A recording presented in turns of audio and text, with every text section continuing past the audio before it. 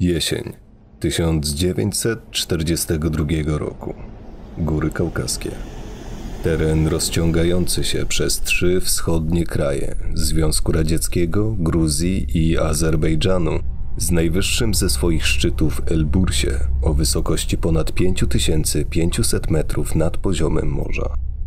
Rozciągający się na powierzchni ponad pół miliona kilometrów kwadratowych łańcuch skrywa u swych podnóży liczne lasy i jaskinie, wówczas w dużej części niezbadane, a co się za tym wiąże, niedotknięte ludzką ręką.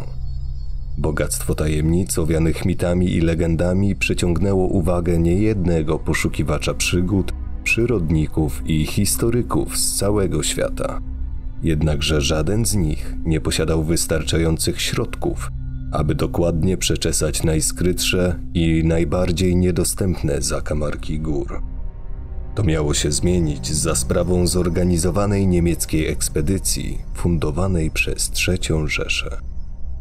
Linia frontu przesuwała się coraz głębiej na wschód. Armia Związku Radzieckiego ustępowała pola niemieckim najeźdźcom. Ofensywa skupiała się wówczas wokół Stalingradu na północy i Kaukazu na południu. Tam, w cieniu operacji Szarotka, która miała na celu przebicie się wojsk Rzeszy do pól naftowych Sowietów, a później podbiciu brytyjskich Indii, zostały uformowane specjalne oddziały składające się z członków tajnej organizacji Achne Nerme.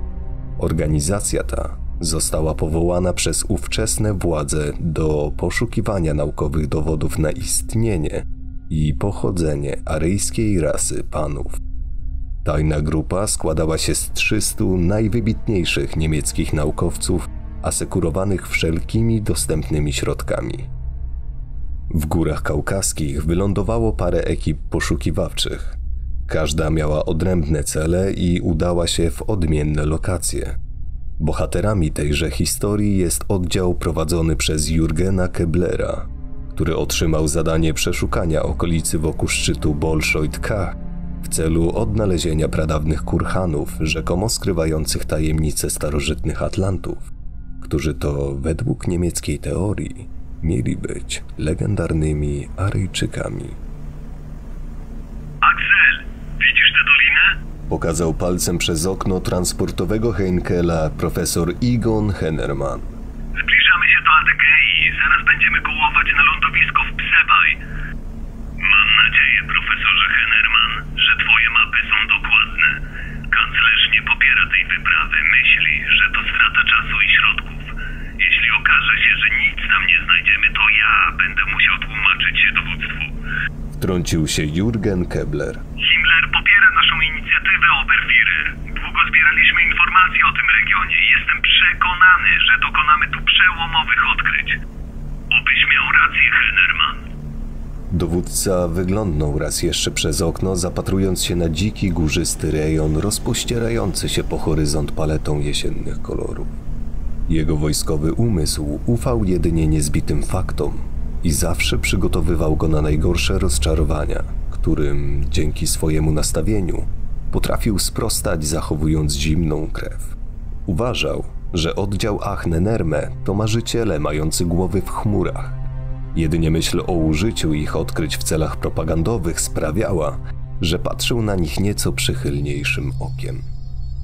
W skład oddziału ekspedycyjnego wchodziło trzech wykwalifikowanych naukowców: Axel Meyer, geolog, profesor Egon Hennerman, archeolog, Hendrik Kerl, biolog. Oraz starszy dowódca SS Jurgen Kebler, wojskowy, będący jednocześnie członkiem mistycznego Bractwa Czarnego Słońca, którego siedziba znajdowała się wówczas w owianym tajemnicą zamku Wewelsburg. Owe bractwo interesowało się zapomnianymi praktykami magii i tajemniczymi obrzędami okultystycznymi. Przynależność do wspomnianej sekty była swego czasu dość powszechna wśród elity nazistowskiej partii. Tak mroczne upodobania w parze z trupio-czarnym mundurem SS sprawiały, że człowiek stawał się groźny zarówno na poziomie fizycznym, jak i psychicznym dla swojej opozycji. Samolot zaczął zniżać się do lądowania w wąwozie. Na lądowisku wrzała krzątanina wozów i żołnierzy przygotowujących bazę polową ekspedycji. Całość zdawała się wyglądać jak poruszone mrowisko. Gdy Heinkel wylądował, jego transport przywitał oddział wojskowych z młodszym dowódcą na czele.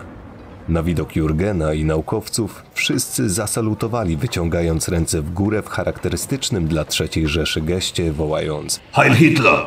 Oberw i reszta przybyłych odpowiedzieli tym samym, choć mniej entuzjastycznym przez trudy podróży sposobem.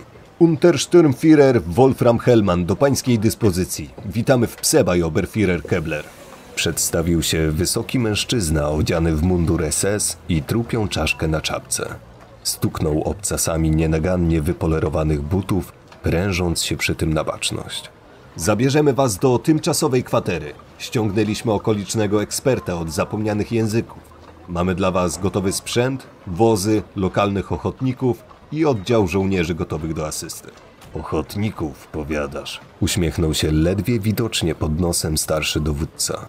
Dobrze, Ustofie Helman. Dobra robota. Nie zabawimy tu wiele czasu. Mamy go mało, jeśli nie chcemy ściągnąć na siebie dezaprobaty Führera. SS-man zasalutował i poprowadził wraz ze swoim oddziałem nowo przybyłych do obozu. Po drodze do kwatery Jurgen zauważył, jak dwóch żołnierzy prowadzi średniego wzrostu brunetkę. Jej mina wyraźnie wskazywała, że nie jest w obozie z własnej woli. Oberw zwrócił się do młodszego dowódcy. Kim ona jest? Wskazał skinieniem głowy w jej kierunku. To jest właśnie wasz ekspert od starych kaukaskich dialektów, Oberführer. Kobieta? Zdziwił się Jurgen. Jej mężem był znany w całym kraju profesor Amir Tugaj. Razem z małżonką zajmowali się sprawą kurhanów u podnóży Bolszojtka.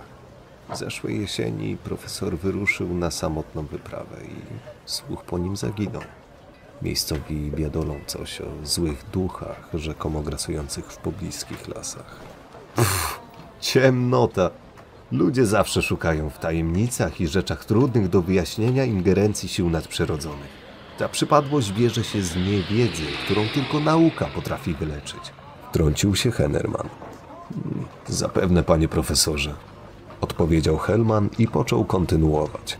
Owa kobieta była naszą jedyną alternatywą. Pomimo swojej płci posiada dużą wiedzę na rozległe tematy starożytnych kaukaskich dialektów. Oby tak było, Ustufie Wolfram. Nie będę tolerować opóźnień. Wyruszamy nad ranem. Powiedział starszy dowódca przed wejściem do kwatery. Hellman zasalutował. Tak jest, Oberführer. Po czym udał się w kierunku baraków, zaś czwórka nowo przybyłych ruszyła do swoich pokoi. Aisha Tugaj, wdowa po Amirze Tugaju. Mówił przeciągniętym głosem, nie odrywając wzroku od pliku akt na biurku dowódca Helman. On jeszcze może żyć. Wtrąciła ze zdenerwowaniem siedząca po drugiej stronie biurka kobieta. Milczeć! Wrzasnął, uderzając dłonią w blat, po czym grymas jego twarzy złagodniał. Będzie pani się odzywać, tylko kiedy zapytam. Spojrzał jej prosto w oczy. Zapadła chwila ciszy. Jeśli już sobie to wyjaśniliśmy, kontynuował, opuszczając wzrok na plik kartek, może mi pani opowie, czego szukaliście z mężem w pobliżu Górytka? Badaliśmy inskrypcje skryte wewnątrz struktury w celu odgadnięcia ich przeznaczenia. Odpowiedziała krótko, niechętnie dzieląc się jakimikolwiek informacjami z wojskowym. I co udało się wam ustalić? Zapytał nieco znudzonym głosem. Budowla okazuje się być nie tylko kurhanem. Jest czymś w rodzaju znacznika, jak się zresztą okazało jednym z wielu. Każdy z tych kurhanów został położony na pęknięciu płyt tektonicznych. Inskrypcje wyryte w kamieniu opisują ich zastosowanie jako portal pomiędzy światami. Chce mi pani powiedzieć, wtrącił się, że starożytna cywilizacja była w stanie określić, gdzie stykają się ze sobą płyty tektoniczne Ziemi i tworzyła portale. Teoria podróży między światami jest dość powszechna w wielu wierzeniach. Mongołowie wierzyli, że duchy ich przodków potrafią się z nimi komunikować przez szamanów w rytuale przyzwania. Celtowie uważali, że portalami do innego świata są drzewa wypalone od środka przez uderzenie pioruna. Myślę, że to miejsce miało charakter rytualny. Nie wiemy, czy ówczesna cywilizacja miała pojęcie o położeniu płyt tektonicznych. Jest to raczej mało prawdopodobne. Położenie może być przypadkowe. Interesujące. Hellman wiedział, że te informacje zaintrygują naukowców Achnenerme. Istniała teoria, której był świadom, że aryjska rasa wywodzi się od legendarnych Atlantów, którzy skryli się wraz ze swoją tajemniczą technologią głęboko na dnie oceanów lub w niezbadanych trzewiach Ziemi. Porucznik skrupulatnie notował relacje kobiety w nadziei, że zaskarbi sobie względy Oberführera, przyspieszając swoje szanse na awans i powrót na austriackie ziemie, skąd pochodził. Czy wie pani, gdzie udał się mąż, zanim zaginął? Zapytał, nie przestając notować. Profesor Amir twierdził, że Kurhan u podnóży góry nie jest jedynym w tym regionie. Wiemy nie od dziś, że góra posiada sieć jaskiń. Te o ślepych zaułkach zostały zbadane. Te, które ciągną się w głąb góry, są zbyt niebezpieczne, by je eksplorować. Mój mąż za wszelką cenę chciał odgadnąć zagadkę tych struktur. Spędzał tygodnie na wyprawach. Z biegiem czasu dziwaczał, izolował się, aż pewnego dnia po prostu zniknął bez słowa. Myślę, że odkrył jedno z wejść i postanowił się w nie zapuścić. Utkwiła spojrzenie w świetle lampy naftowej stojącej na biurku. Czy wie pani, gdzie może znajdować się to wejście? Gdybym wiedziała, ruszyłabym go szukać. Odpowiedziała, nie odrywając wzroku od lampy. Helman odłożył długopis, wysunął szufladę biurka i wyjął z niej dziennik w skórzanej oprawie. Być może uraduje panią wieść, że ja wiem. Kobieta otworzyła oczy szeroko ze zdziwienia, poznając widok dziennika. Znaleźliśmy go przeszukując waszą posesję. Był ukryty pod deskami w podłodze. Nasz oddział był bardzo skrupulatny. Mamy do tego wprawę. Stwierdził z nutą dumy i uśmiechem na twarzy. Wszystko, co było w nim zawarte, zdążyłem przepisać, więc nie będzie mi już tak bardzo potrzebny. Pomyślałem jednak, że będzie to dla pani bardzo ujmująca lektura przed jutrzejszą wyprawą. Wyciągnął dziennik przed siebie, chełpiąc się szokiem na jej twarzy. Ta niepewnie po niego sięgnęła, a gdy już miała go dotknąć, Helman uniósł dłoń, zginając nadgarstek. Liczę na pani pełną kooperację, pani Tugaj. Po czym bez dalszych ceregieli wręczył jej upragnione zapiski. Wstał i wskazał drogę do wyjścia. Straż! Do pokoju wszedł żołnierz i stukając obcasem stanął na baczność. Zaprowadź panią Tugaj do jej izby. Żołnierz zasalutował. Aisza posłała dowódcy spojrzenie, a w jej oczach widać było zdezorientowaną wdzięczność. Przez krótką chwilę chciała mu podziękować. Szybko jednak ta myśl ulotniła się z jej głowy, a ona sama zniknęła ze strażnikiem za drzwiami. Helman usiadł na krześle, wypuszczając dech z piersi. Zapatrzył się w ogień lampy naftowej, stukając długopisem po blacie biurka, myśląc nad zawartymi w dzienniku informacjami. Niepewny, czy chce wierzyć w ich treść. Aisza, gdy tylko weszła do swojej izby, zapaliła świeczkę stojącą na okratowanym oknie i w nikłym świetle zabrała się za czytanie dziennika. Miała głęboką nadzieję, że znajdzie w nim informacje, jak odszukać swojego męża. Nie szczędziła więc ani chwili, aby odkryć tajemnicę spędzającą jej sen z powiek od ponad roku. Przewróciła kartki, na których zapisane były znane jej informacje ze wspólnych podróży, odkrywając strony, które zawierały opisy i ilustracje jej nieznane.